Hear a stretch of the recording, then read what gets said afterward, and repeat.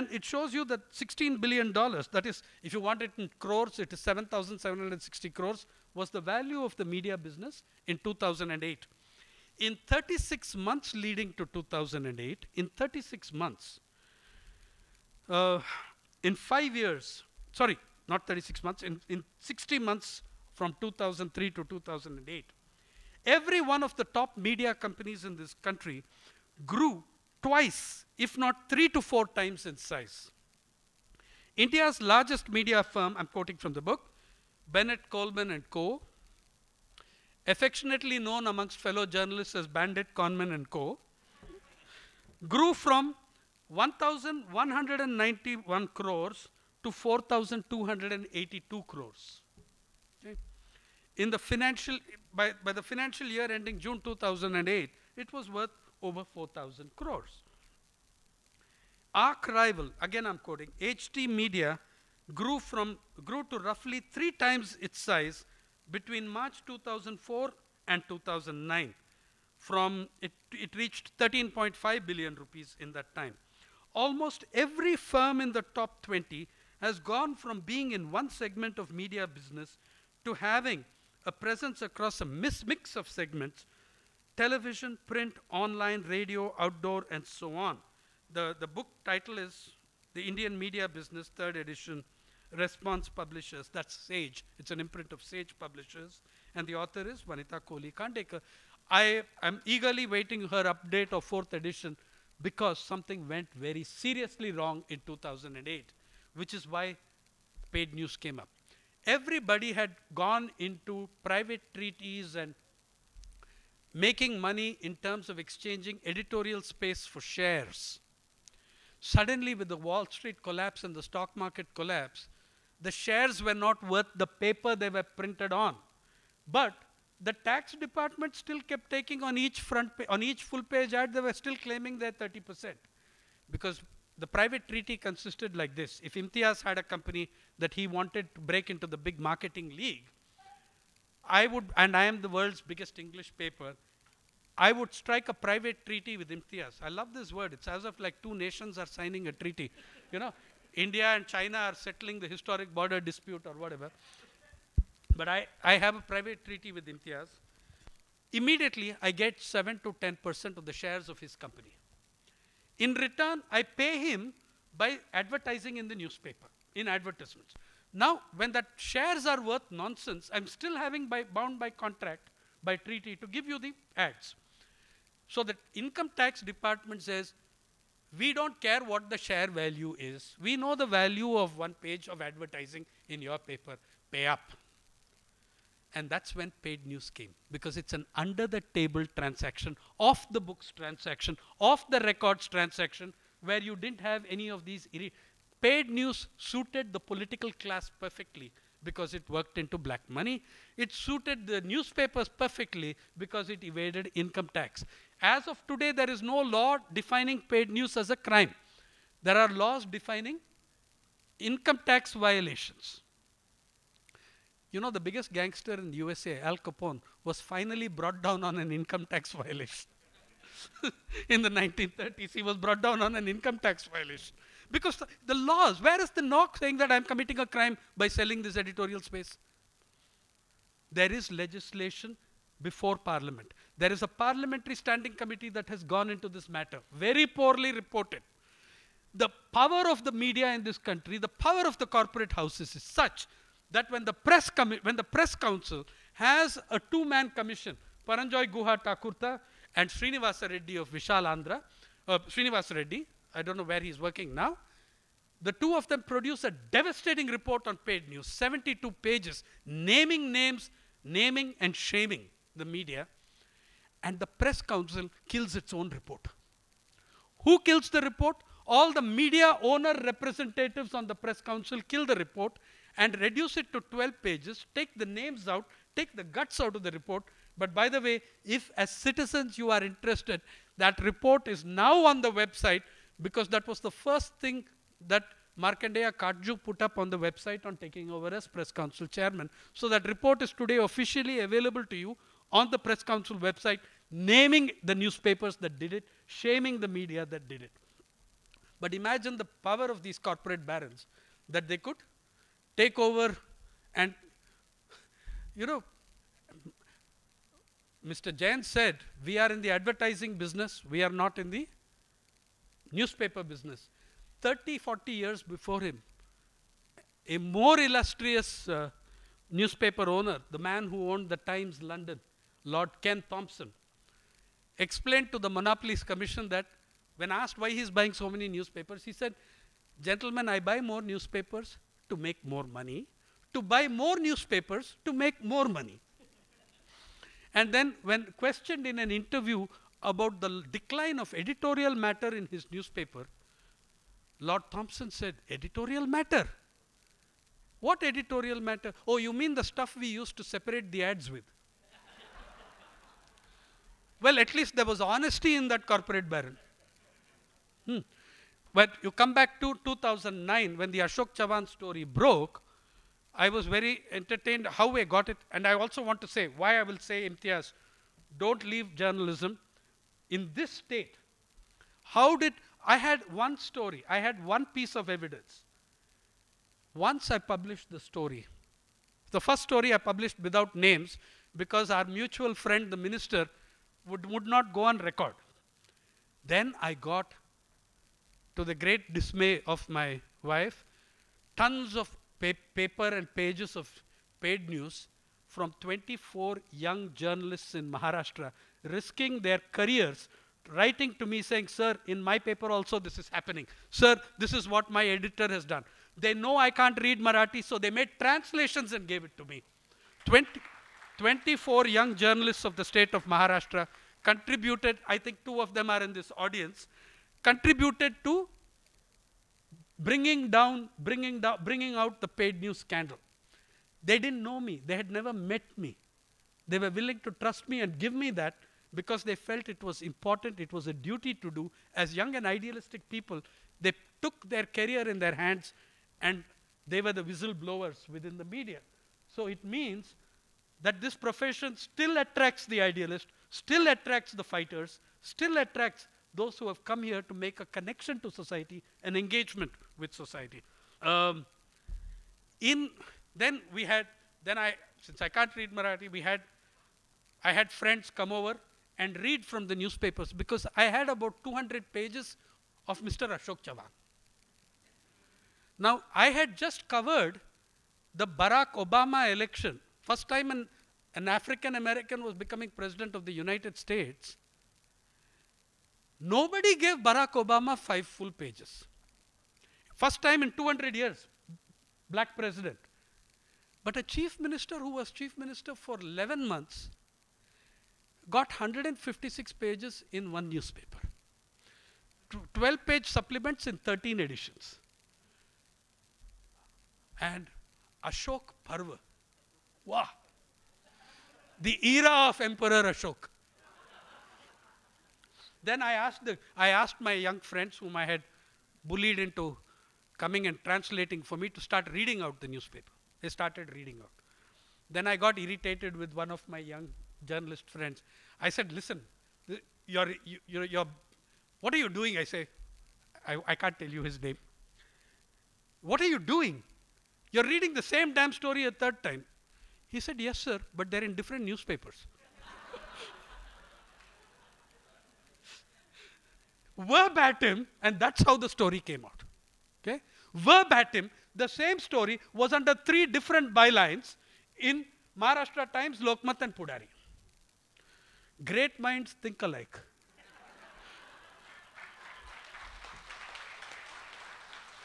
or fools never differ. Hmm. Then we had, okay, so anyway, the rest of that scandal, you know. But if you look, come back to the business investment in media, I'm going to talk to you about who are on the boards of newspapers. It's great fun.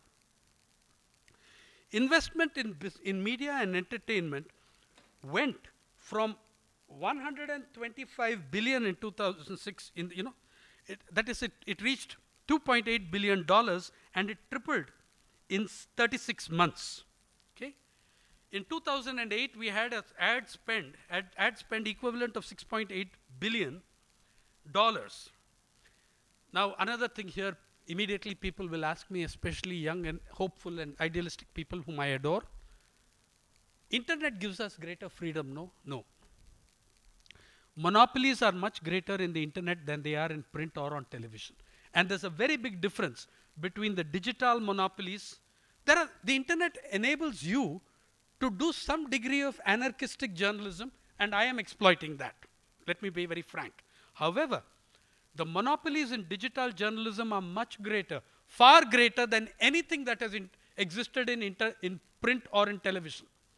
No television company got 41% of all TV revenues in the world. Google gets 41% of all ad revenues on the internet. One company.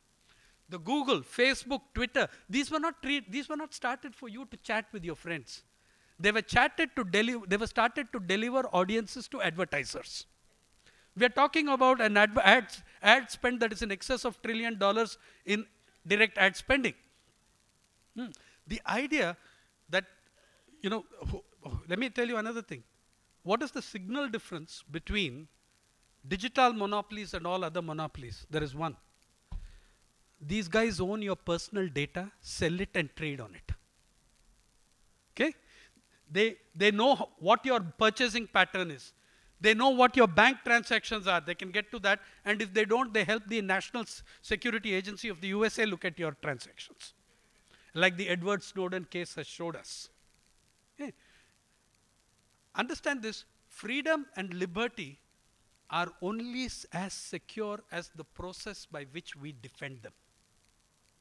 Okay? Once you put them down on paper, the job isn't over. You are constantly defending and defending and defending your freedom. As a citizen, that is your job and your duty. As a journalist, as journalists, that is our job and our duty. If, if you look at this, uh, so the Indian media Another thing has happened. As the media has grown more corporatized, and those of you who are familiar with business and financial journalism will recognize whom I'm talking about. Hmm. An assistant editor of a financial newspaper leaves the job of assistant editor and he becomes PRO in some company like GlaxoSmithKline, whatever, whatever. Then he comes back as associate editor to the newspaper.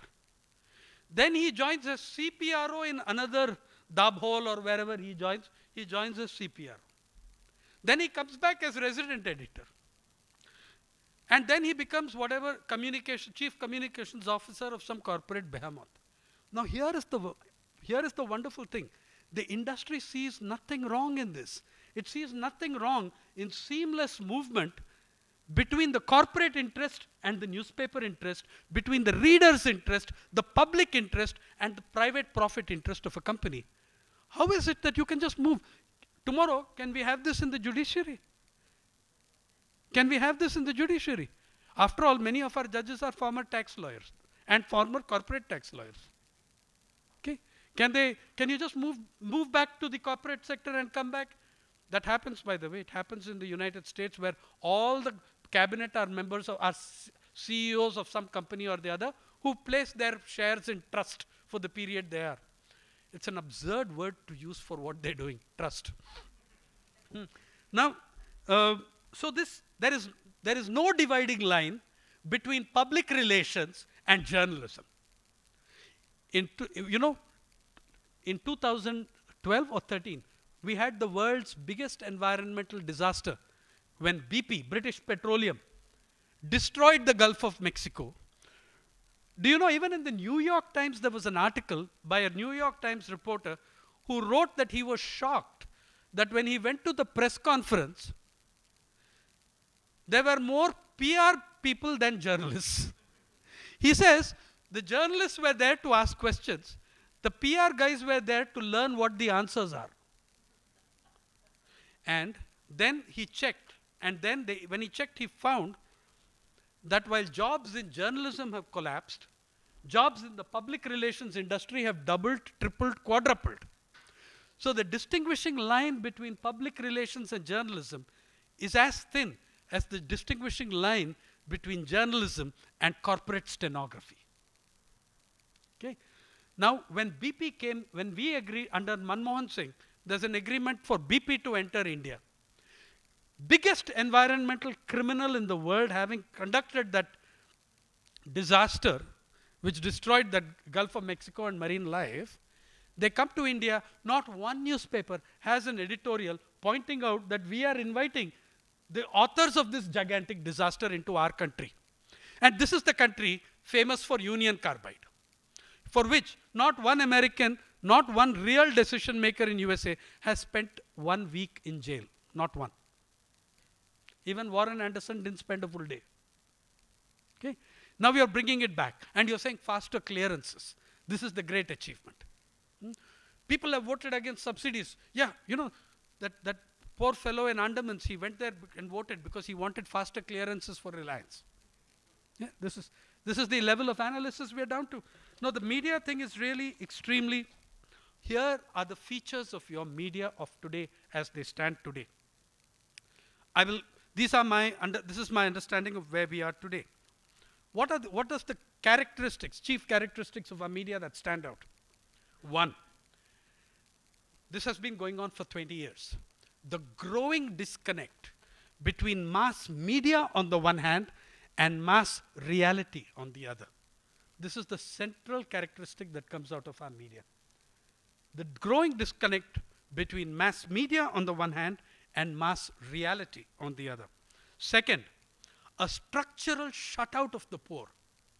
You're absolutely shut out the poor from the election. This is from, from the media. This is not neglect, not indifference. It is calculated. How is it, how do I say it is calculated? Let me go back to my first day in UNI. In UNI in 1980, as in every newspaper, there was a labor reporter. Show me which newspaper today has a labor reporter. Today, the labor reporter's job is done by the industrial relations correspondent. And he will tell from, he will take from the PRO what the union's version is. Hmm? He will not talk to the union. Most of our labor, most of our reporters handling industrial relations, they won't recognize a union member if he kicked them in the face. They've never spoken to one. Okay? So that beat has disappeared.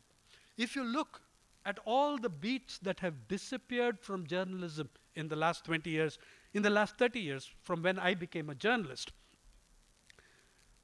Where is the agriculture correspondent? Today, agriculture correspondent means somebody who covers agriculture ministry in Delhi. Agriculture correspondent meant somebody who covered the operations of agriculture from the credit season, from the sowing season to the mandi. That was the agriculture correspondent. Today, the agricultural correspondent is, is like the Yeti. Sightings are heard of, but no confirmation. Labor correspondent has ceased to exist in a country where 40 million people, not much short of the population of South Africa, which is about 50 million, 40 million people are registered at the employment exchanges in this country. Do you know if we put these 40 million people in a single line, how long that line would be? Suppose we put them like sardines. Two people, two, two guys my size. If we can manage two people in one meter, 30 inches. My nose in his collar. Two guys to a meter, two people to a meter, 40 million is three and a half times the Indian coastline. These are the issues that the media should be covering. These are the issues that the media should be covering. There is no labor reporter anymore. The last one I saw got beaten up. Right? There are correspondents full time for glamour, design, fashion. There are eating out correspondents of whom I am very jealous. okay? And there are correspondents for all sorts of wonderful things. Okay, there are even there are there one venerable newspaper in the East used to have a full-time correspondent to cover golf. Now, you know, the, the statistical negligibility of, the go of golf to the Indian population is beyond my mathematical ability to calculate. Hmm. But they had a full-time correspondent for that. Yeah, but you do not have one full-time correspondent on rural poverty. I cover it, but I cover many other things as well. I cover other things as well. There is no full-time correspondent on the, on, on the country with the second largest housing problem in the world. there is no poverty, no development, uh, poverty correspondent, no correspondent on the poverty uh, beat in the country with the largest number of absolute poor people in the world.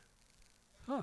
In this country, in, in, in our time, education correspondent means campus correspondent.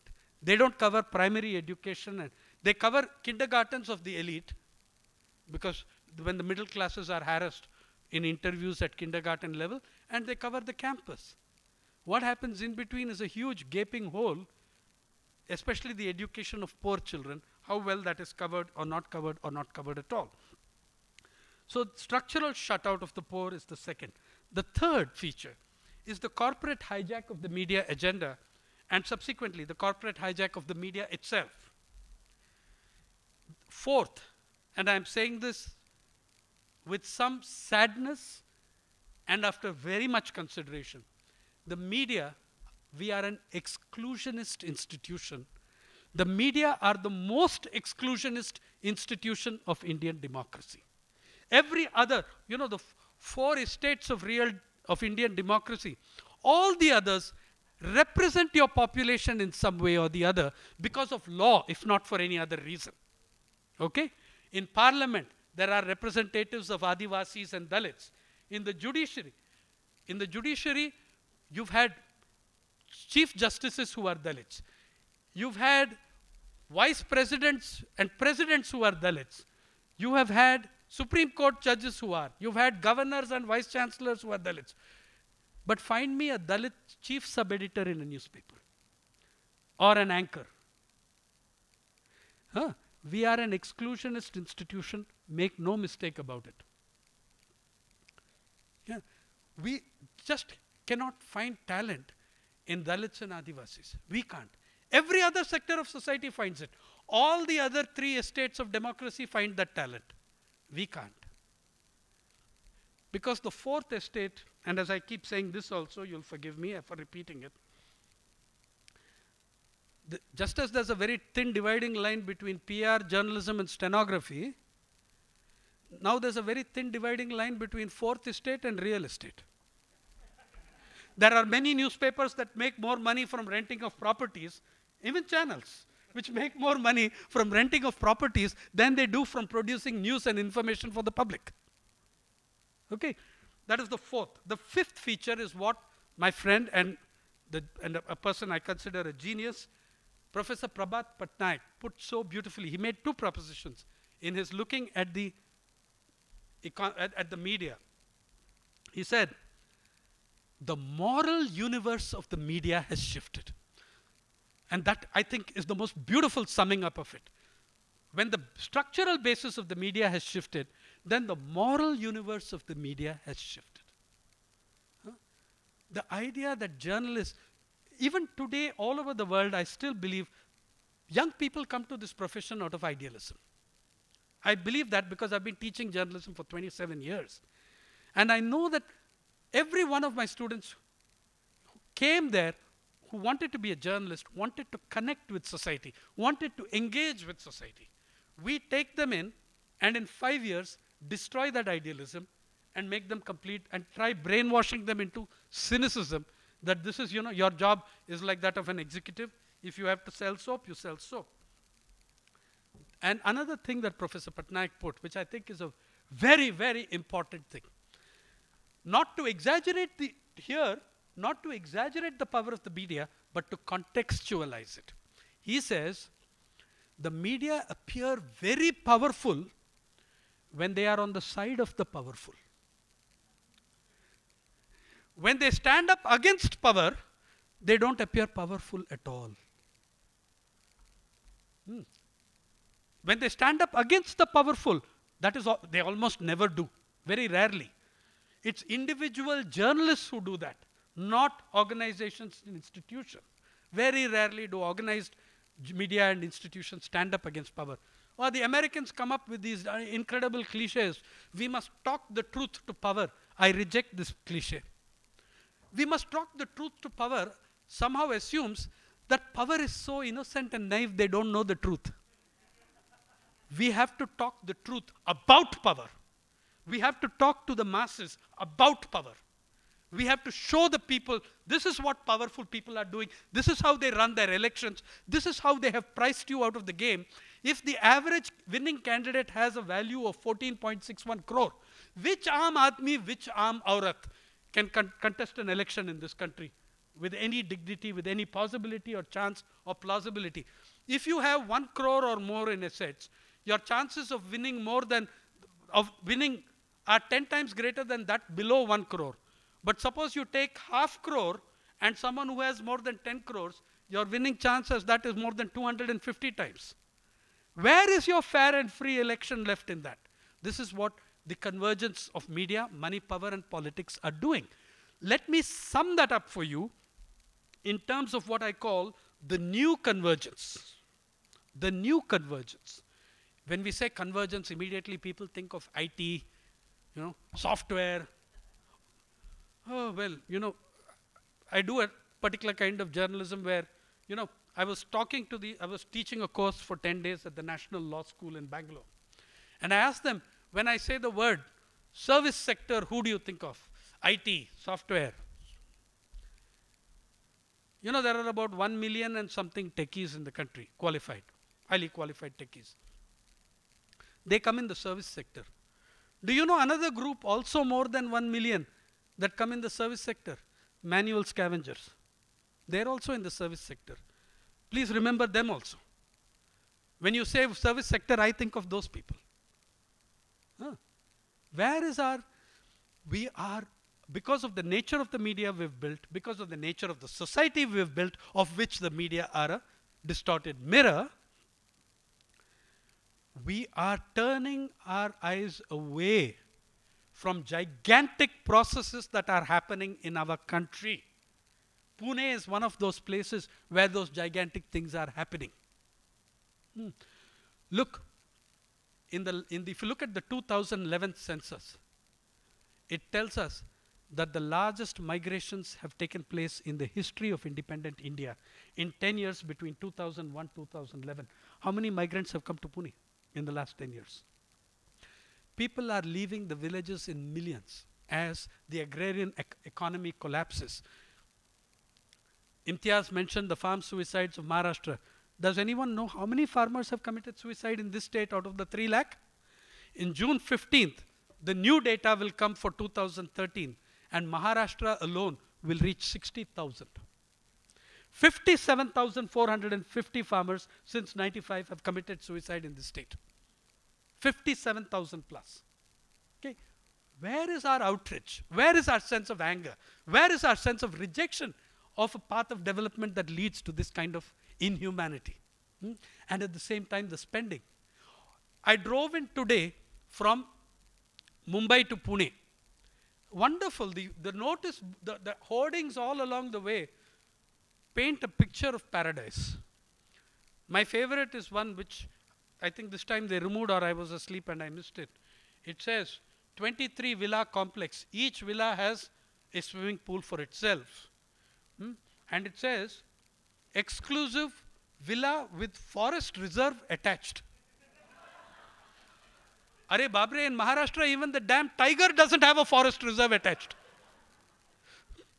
Ask the poor tiger in Melghat.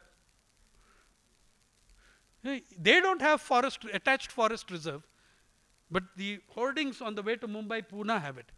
Buildings are coming up all over Maharashtra. The biggest issue in your country, which the media refuse to address, except in celebratory terms. The biggest issue in your country is the growing inequality. 37 storied buildings are coming up with a swimming pool on every floor, and we talk about the century's greatest drought in Maharashtra, how it is worse than the 1972 drought when you have a twin tower complex, 74 floors, a swimming pool on every floor. Why will you not have a water crisis? Then meet the laborers who build those buildings. When we were out on our drought tour last year, when they said greater than 1972 drought, we met some of the people who go and work on these kind of buildings. You know who they are? They are farmers and agricultural laborers and landless who have fled their villages because there is no water and they come to city and build our buildings with a swimming pool, swimming pool on each floor. Imagine what is happening in that person's mind. Hmm. There is this gigantic disconnect between mass media and mass reality. Huge processes are happening which we are not capturing, which we are not, we are failing in our duty to you as readers and viewers. What is this new convergence that I'm talking of? One, giant corporations dominate media. So this is not a technological convergence. This is a political, sociological, economic convergence. Giant corporations dominate media. Mukesh Bhai is today the biggest owner of media in the country. Media are increasingly corporatized. Even those, even those media companies which are family owned show increasing signs of corporatization and corporate structures. Three, interlinking directorships. One, one of, I get a lot of entertainment from going onto the net and looking at the boards of media companies. Which is the biggest newspaper in this country? Dainik Jagran. Claimed 53 million readers. They actually might have half of that. It will still be the biggest. It's a giant. There's no question. In 2010, I looked at the, I haven't updated my stuff, but in 2010, when I looked at their board of directors, it was hard to find a journalist or anyone who had done journalism. But I found South Asia director of McDonald's in a Hindi newspaper. I found Gavin Reilly of the World Association of Newspapers. Gavin Reilly of Ireland, I don't know if he knows Gaelic, I don't, but I'm sure he doesn't know Hindi. A word. But what does journalism have to do with newspapers? Nothing. You see, we are in the advertising business. We are not in the newspaper business. That is what words of wisdom we heard. Who were the directors on the various boards of the various media companies that I looked at? I found people from McDonald's, from real estate, top corporate tax lawyers, from General Electric, from Raytheon Corporation. Hmm. And then I found that the directors of these, of these media companies sit on the boards of banks, sit on the boards of corporations, sit on the boards. Ben Bagdikian, describing this, the great American journalist, two-time Pulitzer Prize winner, the editor of Washington Post who presided over the publication of the Pentagon Papers. He's written this brilliant book. I advise everybody to look at it. The, now the title is called The New Media Monopoly. And he explains this interlocking of directorships between media, armaments companies, cement companies, um, you know, surveillance, electronic surveillance companies. He calls it, and then their directors sitting on the media companies. He calls it corporate incest within corporate incest. Then the next feature of this is where the convergence takes place. Imtiaz already mentioned an aspect of it. Huge business families, and this is a convergence between business, money, politics, and media. Major business families enter politics, like the Jindals, right? They've entered politics. Or Mr. Gadkari, businessman and quite proud to be one, he entered politics. Uh, so you have major business families entering politics. You then have major political families entering business, right? Like uh, YSR's family, like the uh, Maran family, which was also a newspaper family, like the younger Mr. Thackeray, who bought the Kohinoor mill in alliance with, other, with another political figure. So you have major political families entering business operations. Then you have both business and political families entering media. Whether it's the Badals in Punjab or the Marans in Tamil Nadu. Okay. And then you have media families entering business and families. Like the, that would be the example for the Marans. You have, look at the major, when one or two families in Tamil Nadu control 60% of cable distribution, and any TV channel, including yours, has to pay something to be seen. Hmm. Everyone has to pay because one political family controls distribution. And, I mean, two families actually control it. Now, so you have this huge thing. When you have these three meeting together, uh, if you look at business families entering po politics, there's Jindals, There's even Mallya, Dr. Vijay Mallya, okay, uh, on whom I did a story last year, which I'm very proud of. After that, no bank gave a further loan. Hmm. And, and Dr. Gadkari, who once famously said, I am friends with lots of contractors, quoted in the Indian Express. Political families entering business include, why, why Mr. Thackeray? Karti Chidambaram, who's entered business, or YSR's family, who have also entered media with Sakshi, Sakshi TV and with Sakshi newspaper. Political families and business families entering media include Marans, YSR, uh, DMK, Jayalalitha, ADMK, they're all in media. They're all in media. The Badals, and don't forget Mr. Roy of Sahara. And don't forget the Sarada guys who owned some seven, who owned several newspapers and have left uh, 700 journalists unemployed. Now, you have, you have media companies getting into business like the Dardas.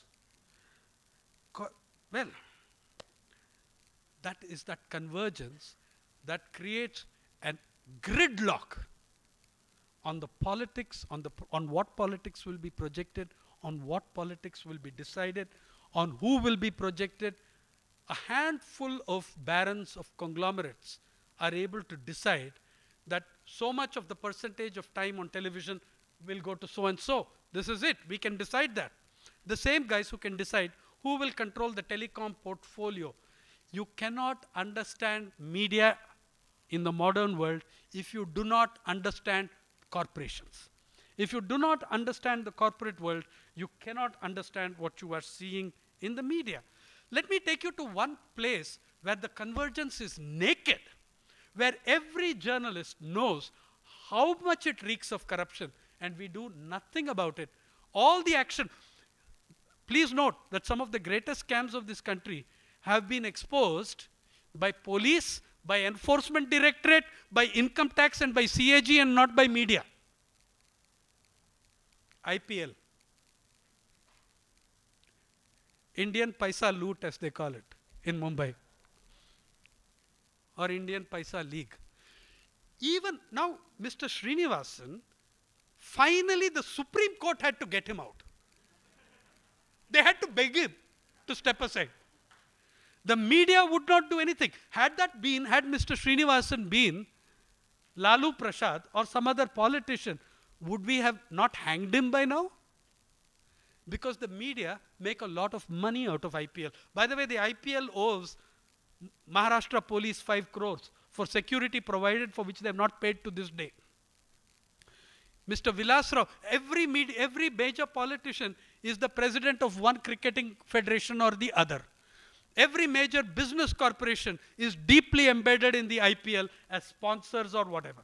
This is where your convergence is. The ABC of media, advertising, Bollywood, and corporations or cricket, whichever you prefer, celebrities, if you like, for C. That is this convergence. If you look at IPL, media houses have been owners of IPL teams, like the Deccan Chargers was once owned by Deccan Chronicle Holdings. KKR has as a media partner the Telegraph. At least it used to have, I don't know now. The Enforcement Directorate has put up demands of crores of rupees against Mr. Srinivasan individually, against the individual office bearers, but this will not gain space in the media and in the newspapers until it becomes impossible for them to do because everybody is making so much money out of IPL. Sri Vilasrao Deshmukh, when he was, when he was alive and he was chief minister, uh, with whom I had a great time when he was chief minister, because he was an endless subject or source of stories. Okay. So Vilas Rauji gave IPL entertainment tax waiver of 24 crores. Finally, Mumbai High Court ordered that the money be collected. I do not know if it has been collected. When you give IPL entertainment tax waiver, you are then classifying IPL as an educational activity. Yeah, we have learned all about cheerleaders now, first time in the country, right? Close up, we have learned about cheerleaders, we never knew all these things. I mean, there is some there's a price to be paid for education. They get the grounds, Feroz Shah Kotla. By the way, Eden Gardens is owned by the armed forces. It's owned by the army. Eden, the, it's in that area. The grounds like the Feroz Shah Kotla, like Eden Gardens, go to this private profit agency virtually free. The payments they make are minimal. If someone else had to rent those grounds, you will know what they will have to pay. Uh, a handful of journalists again, a handful of journalists.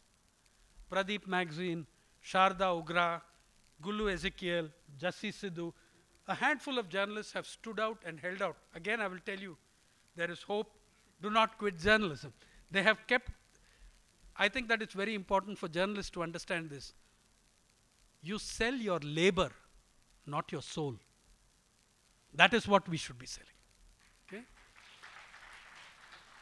So I'll wrap up with this that the, the, the situation, the context in which all of this has happened, has happened in a period of growing commercialization and corporatization of your entire society. Never in our history has the power of corporations and, the, and corporate power been so overwhelming, so overbearing in our society. And every day the newspapers are calling for a end. They're basically asking for the scrapping of the Rural Employment Guarantee Program. They're asking for a dismantling of the PDS. This is what, and they're saying people voted against it. You know, there is, it, there is such meanness and viciousness. An old lady in Odisha explained to my friend Purushottam and Thakur and me why you in fact need a universal PDS that is much larger. When we, we stop at her house now and then, and once during just before elections, of course, we stopped at her home, and this time the rice was excellent in her home. That year, being election year, the Naveen Patnaik government had expanded the PDS by 80%. It was covering almost 80% of the population. So it went up from some 40, 50% to 80%. And the villages were flooded with rice. So I asked her, Amma, this time the rice is so good. Why is the rice so good? And what are, what are stupid economists? You know, I read somewhere a very beautiful saying. If you believe in infinite growth in a finite planet, you're either a madman or an economist. hmm? Then uh, she said, I asked her, why did the rice get so good? And she gave us such a fantastic explanation in two lines. She said earlier when we used to get less rice in the village, then our, uh, our local lala, our shopkeeper, our sahukar, he used to adulterate that rice. Now there is so much rice coming into the village, there is not enough bad rice to adulterate it with. Okay, so the same 50 kgs of bad rice is being mixed with 6,000 kgs of rice instead of 500 kgs of rice. So the quality of rice, she was telling you that you need a universal system, which is what also, by the way, is implied. And I will leave you with this. I say again, the greatest issue before us and the media is inequality. The greatest, the greatest writing and the greatest speech ever made on inequality in this country was made by a man called B.R. Ambedkar in the Constituent Assembly when he handed over the country's constitution draft to the new Constituent Assembly, he said, I do so in great trepidation. We have built a wonderful political democracy, but in economy and society, there is no democracy at all. He said, one day the tension between our political democracy and the lack of democracy in economics and society will explode our political democracy. A truer word was never said. Yeah? I think if we have to look at that, we have to look at this inequality issue, we have to challenge the media. Here is something that every one of you and I can do. We fight for democratization of the media. We are fighting for electoral democracy every five years. But democratization of media, you have to fight every day. Otherwise, your children are growing up in an environment governed by false consciousness, governed by selling propaganda, governed by selling products, governed completely shut off from the knowledge of the world, when gigantic things are going around them, please fight for democratization of the media. There are several ways in which we can do that. In terms of fighting for restrictions on cross ownership, such legislation already is being submitted to parliament. You can support it. You can also support it by supporting small ventures. Those of you, I say that if you do not support three small ventures, three small magazines, uh, like an EPW or whatever it is, then you have no right to complain because these small magazines put out that information at huge cost to themselves, which is denied to you by the giant corporations and the giant corporate press. Particip third, don't give up on the mainstream media. It is your legacy. The mainstream media in this country was not built by Samir and Vineet and Ashok Jain. The mainstream media in this country was built by your freedom fighters, by those who made this country free. It is your legacy. It is your right and your space as much as it is mine or Imtiaz's or Mr. Jain's. Okay? Fight to strengthen your public. I think many people will agree that some of the best panel discussions we have seen, and I hate panel discussions on TV. You know, I mean, it's just, just something beyond understanding what kind of things happen on panel discussions in TV. Uh, in fact, I, there are panel discussions and there are panel discussions. okay, I heard the same set of people go from studio to studio to studio, and it gets confusing. The other day during the elections, Vinod Mehta, a good man, love him, seriously offended Arnab Goswami by saying, I say Rajdeep. Then, so Arnab was seriously wounded. He said, I'm not Rajdeep, I'm Arnab. Okay. Then yesterday someone called Rahul Kanwal, they called him Arnab. Now I do not know what Rahul Kanwal's feelings about that were. But Vinod then also protested about not being allowed to speak on the panel. He said, Arnab, you pay me 5,000 rupees to come here and speak, but you don't let me speak. I told him, that I told, I told Vinod when I met him at the airport that you're making a mistake. In other channels, you may be paid something to speak. In Times Now, you are paid to listen to Arnab.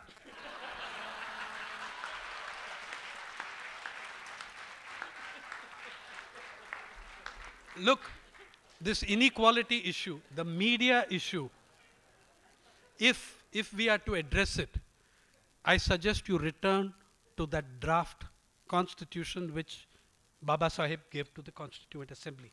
In it is a section which I think is the most visionary of any constitution that I am aware of. I've read maybe a few.